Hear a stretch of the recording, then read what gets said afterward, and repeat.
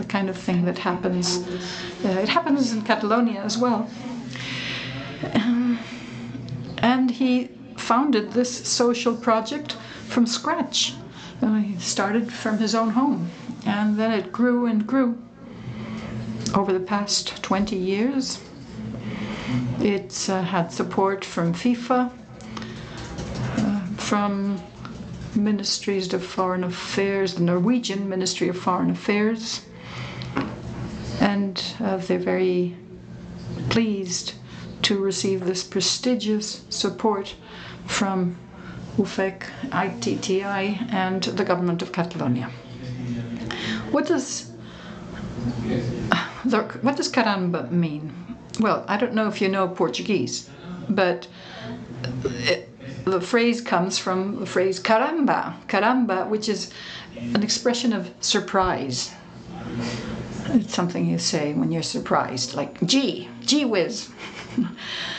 and that was what he experienced when he saw these neighborhoods in in uh, uh, Brazil and he discovered what was there. It started out in Copacabana. Currently, the project is supporting more than a thousand children. It's particularly emphasized women's football recently. Uh, you know, there's you know a coach, a woman coach.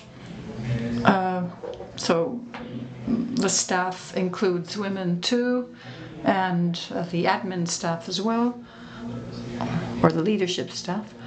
There's also the Cinderella project. Was not that was not included in this video. Uh, so people will go to the to a, a, neighborhood school in the neighborhood of Samosalo. It would be something like Sant Boi de Llobregat anyway, you know, a small nearby nearby town. And the pro the project was presented there. Every girl there was given one football shoe and told if you want the other shoe you have to come and collect it and play and most of them went i mean when i saw that video i was in tears. I really recommend watching it.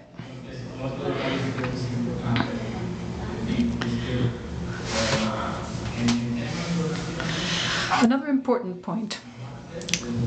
When there are donations some of the resources received are allocated to admin costs and the like. Caramba has managed to allocate 95% of donated funds to what participants actually receive. So, in other words, there is a very tiny percentage allocated to work that doesn't actually directly reach the target population. The girls, the players, are very happy, as you were able to see, not only for the support received. At this age, any kind of support can really transform your life. They're also very pleased to be visible in a place such as this one on a day like today. Ultimately, today we're talking about values and education here, as we saw in the preceding panel. One possibility is this. It get, for for the caramba participants uh, taking part in this project is a dream. Well one requirement to, to be part of caramba is school attendance. So the value of education is brought on board as well. So caramba is supporting a lot of values and the aim is not to create the latest stars in the world of football. Some of the children actually make it to professional football. There's one woman, well, one girl player who seems to be really good and they want her in a lot of places. If there's, a, if there's any scout around here, really, this is an opportunity. I have to say it. And since we're talking about women in sports, I have I, I figured I'd, I'd just let you know. But that's not the ultimate aim. Very few people in sports actually become professionals and, and, turn the sport into their life. The main point is for these people to obtain an education, to achieve integration as well. The project also works on integration at every level. And so both boys and girls can end up working as coaches. And that actually matters much more than having one or two players becoming football stars.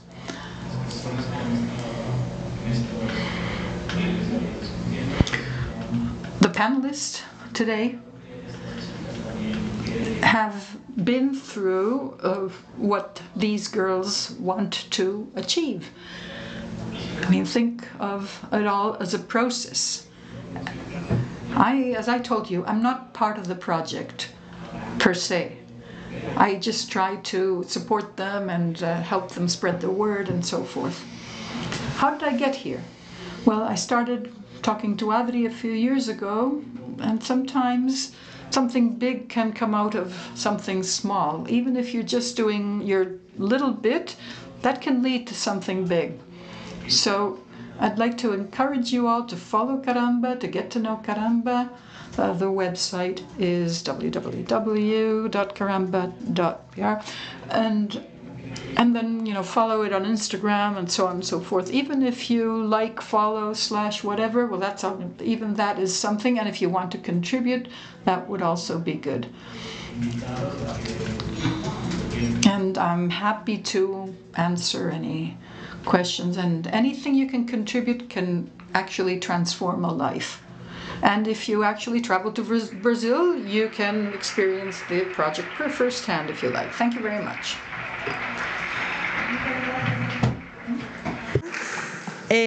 Thank you uh, for your words, Stefano. We will continue now with the second roundtable called Sports Does Gender Matter? And uh, we're going to speak about sex and gender in sports competitions the rights uh, uh, in sports law, which is something that I'm very, I feel very passionate about as a sports lawyer, and uh, some of the latest news about this. So I invite Isabel Pérez, who's a general manager of uh, the Union of Sports Federation, as well as Marta Utor, who's the EuroLeague General Counsel advisor. Alexandra Gómez, who's a legal advisor at FIFPro. Natalie St. Cyr Clarke, former legal affairs manager at FIBA. Y Anna Almécija, a member of the Women in Sport Professional Sports Association. Y por último, a la moderadora y periodista Begoña Villarrubia.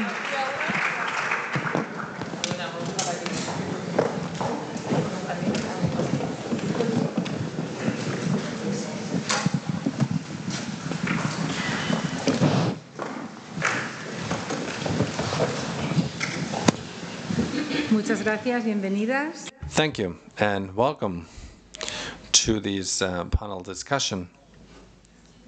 Does gender matter? Uh, gender is extremely important in the in the world of sports, which is why we have these uh, top speakers with us. I'm going to introduce them one by one. Isabel Pérez, who's the general manager at the Union of Sports Federation Catalonia. Does gender matter in sports? Microphone, please. Unfortunately, we cannot translate without a microphone. Please. Sorry. I thought I had a lapel mic on, but you're right, I don't. Um, it's quite impressive to be up here, mind you. Thank you all for coming. And uh, people who are a bit further away could maybe come closer. Pilar, Ingrid, there are some empty seats. I think it would be better if you move closer to where we are. But let me try to reply this. This is the easy roundtable, mind you. Uh, yes, uh, gender is extremely important in sports. Why? Because originally, as we know, sports was were designed um, by men uh, for men following their own models. And when people started uh, asking for women to be there, there was a, a, a division by gender, a binary division, and uh, the level of testosterone was selected as a biomarker, uh, which is, I'm sure, what we will all be discussing about because this biomarker is imperfect. And if you're a scientist, you will know this better than I do but there's somewhat of a consensus. Society moved on. There was this binary division. However, we all made headway and there were some people and some new groups who mm, were asking to be active in the field of sports. And obviously just like it happens with uh, transgender people and the regulation for everything that they have to go through uh, well new solutions um, had to be given.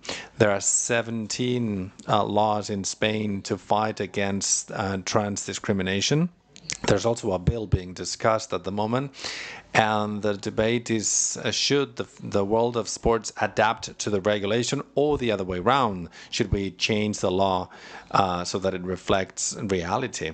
Mm, we are here in a Women in Sports uh, Congress, and I think that the kind of uh, safe environment that women achieved in the field of sports should not be endangered. And in order to finish uh, uh, with an answer that is very lawyer-like, well, it's on a case-by-case basis. I mean, we need to really pay attention to the specific case. Rugby, uh, fencing, uh, swimming, football, they're completely different. Or if a person has transitioned when they were 10 or when they are 30 after having been intensely trained uh, it is really necessary to focus on uh, every single case. The Union of Federations, and I'm sure that that's something we've been working on uh, with some of you, the Department of Equal Opportunities from the Catalan government um, contacted us uh, to talk about that, how to integrate people who were transitioning. And we're always generous when we're asked uh, to be part of committees. We said, okay, let's take a sample.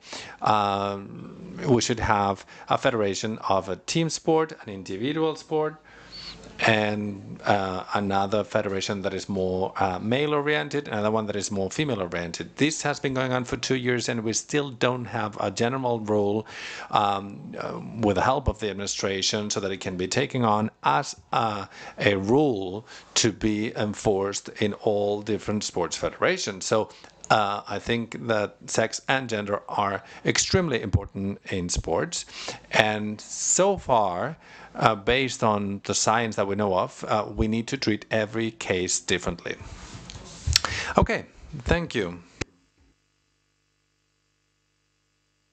There are a lot of challenges, and uh, gender is extremely important, especially in international competitions. So we'll move to uh, Marta Utor, who's the General Counsel Advisor. So I'm going to ask you the same question. Is gender important in sports? Well, good afternoon. I would like to thank the organizers for um, holding this inspiring Congress, hopefully the first of many. Now, if you allow me, I'll apply a legal lens to this question. I hope it's not too boring. Now, uh, is gender important from a legal point of view? The answer should necessarily be uh, well, it shouldn't. It shouldn't matter because we have a regulation, we have legislation for uh, uh gender equality that, uh, well, is aims to achieve this kind of equality in all fields. However, in in the specific area of sports, there are many different categories uh, when competing between men and women. So, if we open up the debate, I think this this is the right forum to ask ourselves: Is it reasonable to separate mm, by category female, male, and female in sports? I think it's an interesting question because as I was saying, the current uh, legislation, or if we take a look at some gender-based pieces of legislation uh, from our uh, environment, there shouldn't be a distinction by category based on conditions that are legally protected, even from our constitution in Spain and in many European countries. So, on that basis, and I'm sure that there will be other interesting ideas um, banded about later during the discussion. But you asked me a question, and I'll probably answer with another question. Is it possible to um, determine different categories mm, on the basis of objective criteria? Or features that can be equated regardless of race, ethnicity, gender, uh, sexual orientation, religion. These are categories that are uh, legally protected. Now, could can we hold a sports uh, competition based on objective criteria such as height, age, um, the sports performance of the athlete, the results? This would mean a change in the system and the way that we've known sports competitions all along, but this is the right place to ask this kind of questions. Okay? Thank you, Marta. I'll give the floor to Alexandra Gómez, uh, uh, legal advisor. So, same question for you. Does gender matter? I'll speak in Spanish. I'll try because I was talking to Marta and in the office, uh, we tend to speak about this uh, topic in English. I, I, work in the Netherlands, and it's an international environment, and I probably know the terminology uh, in English rather than Spanish. But I have to say, it's a very tough question. And it was changed because you started speaking about sex, and then you moved to gender, and they're completely different things. Thank you. Thank you. I, I feel the same. Okay, so I believe that gender is more important and it matters more than sex. Why? Because if we speak about gender, that's how you identify yourself. So, bearing in mind human rights, I think we should um, give uh, or attach more significance to gender rather than the sex you're born with. However, mm, the answer is not as simple, obviously, because we need to apply that to um, sports. And it, it may have a, a role there.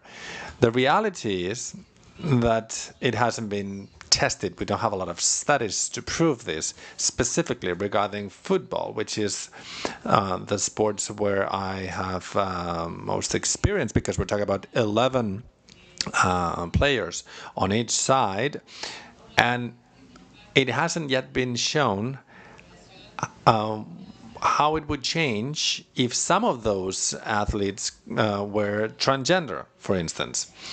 So, uh, before we answer the question, I think that we should try to understand more about this topic, to educate ourselves, uh, its consequences, and to, to do some research because there are a lot of uh, preconceptions that we carry around, uh, pre-established ideas that we keep repeating over and over, and we take them to be true. For instance, um, the higher your testosterone level, the better athlete you will be, or the better you will perform. That is not true, or not always true. It's not a linear relation. So we should uh, research these further and also to focus on the athlete as a human being in his or her particular sports because it may be more important in some disciplines than others and we should not regulate trans athlete or intersex uh, athletes as a category because all of them cisgender intersex transgender all of them we're all different right so among um, male or female transgender uh, athletes, there are a lot of differences as well. So we should be extremely careful, uh, to my mind, when uh, applying um, constraints. If I focus on FIFPro, uh, this is something that is still being discussed. We don't have an official position about it. But I wanted to, to tell you that we are currently um, holding uh, constant talks with FIFA about it because uh, FIFA is uh, well, attempts to regulate this issue in, in a more modern fashion and aligning it to well what's what's the term the international uh, olympic committee uh, yes so aligning itself with ioc uh, because the regulation that is currently in place in FIFA is from 2011. It's quite restrictive and quite vague. Uh, it is not explicit what kind of athlete it refers to, which is why we're working on that point.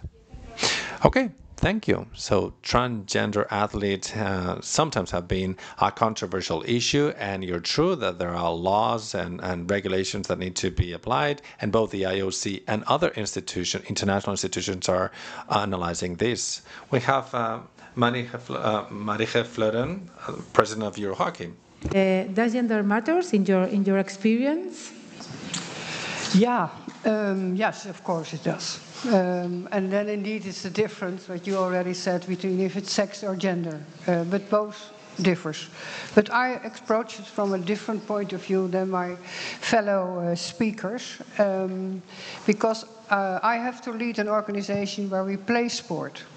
And if you play sport, in, in our sport it's also 11 to 11, then it's about that it is a competitive sport. So that in a way, uh, you, you organize the competition in that way that the, the strength in the different competition is more or less the same. Because if every match is 30-0, then nobody has fun. And fun, joy, is a very important aspect from sport, I think. So in, in our sport, it's at the moment that we can say worldwide it is 50-50 men and women.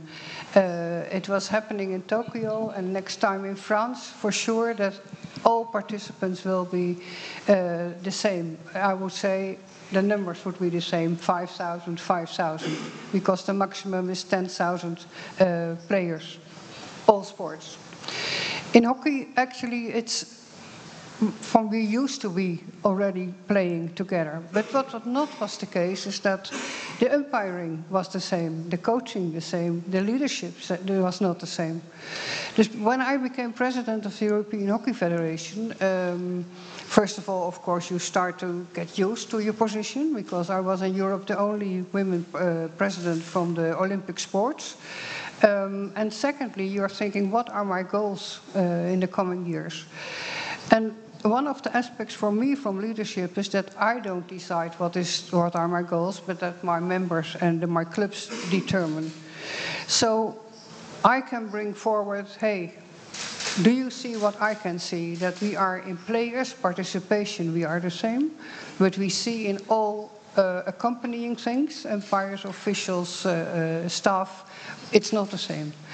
Take, for example, uh, the World Cup in Terrassa uh, two months ago. Big success uh, 16 teams competing, women teams from all over the world, but only two teams had women coaches. That means that 14 teams were coached by men uh, coaches.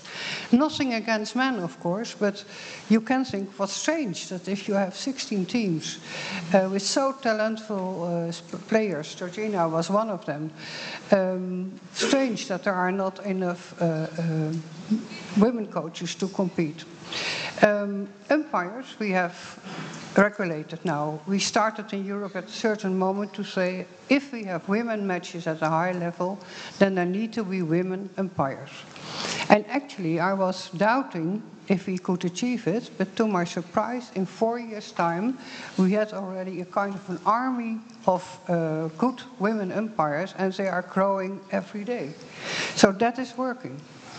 Officials is the same. But what is not the same is in the leadership. We really try to change that there are more women leaders coming up.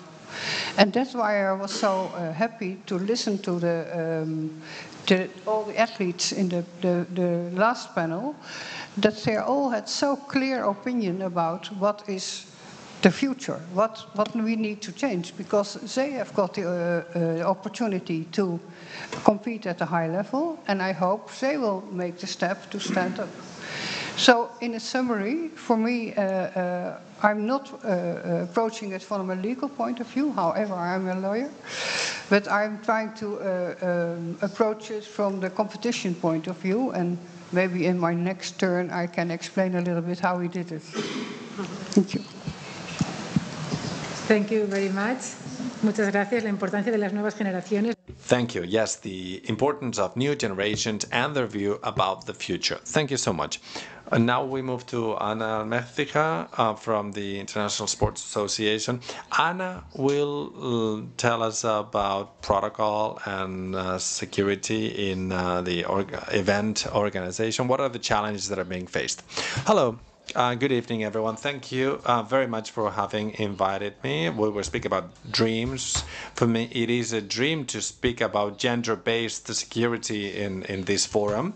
I'm a member of the uh, Association of Women in Professional Sports. Uh, the uh, Catalan chapter will be presenting tomorrow. And this association helped me uh, make this dream come true to, to work on security from a gender perspective with uh, gender uh, violence prevention plans to work on um, equal opportunities plans. And as you know, we uh, now have to also protect uh, minors. It is our obligations. In the past, we would do it because we thought it was the right thing to do, but now th there's a legal obligation. So it's very important to let people know that gender is extremely important. So when we're talking about safety and security, they're completely different things if we need to protect men or women. In the in this uh, world of, uh, of uh, security, there are not that many women. So I encourage you as federations to also hire women for safety and security purposes. Uh, having this equality, gender equality, is indispensable, but it, it's it's not um, the only thing that matters.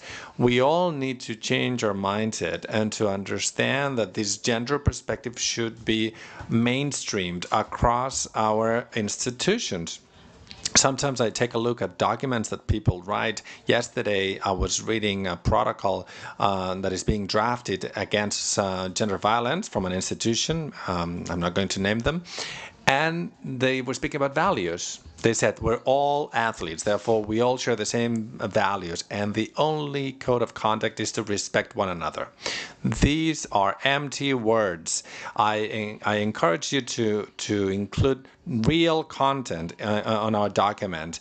We are fed up of seeing so many uh, documents that have been uh, copycat from other institutions and they should be adapted to our own situation. If we really want to protect our female athletes and gender mm, perspective protects everyone, not only women, it protects all of us, we also should take into uh, seriously what this gender perspective means. We need to come up with the right protocols um, suited for our own uh, facilities, our own kind of competitions when when we uh, travel and go to to our tournaments. We need to understand what kind of measures need to be implemented and to really believe in them, not just because the law says so if there's a, a, new policy on child protection, uh, we shouldn't all of us be doing the same thing. We should be specializing in what we do and taking seriously uh, this kind of responsibility. I was a lawyer for some years, and then I, I changed uh, and started working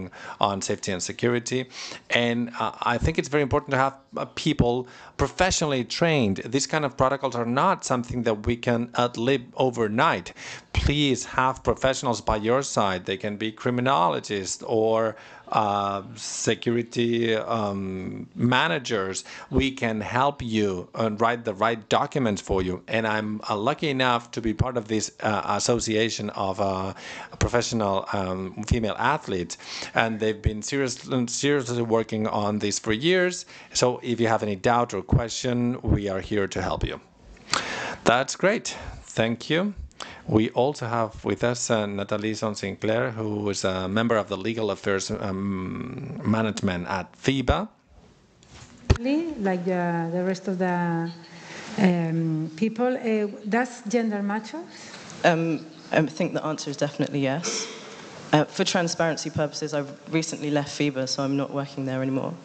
Um, but I think for me, the three things that gender matter or sex matters in have been touched on by the other ladies. So I would say, firstly, yes, the interplay between sex and gender is very important, and I'll talk a little bit about um, the challenges that FIBA faced when we tried to establish a policy on that.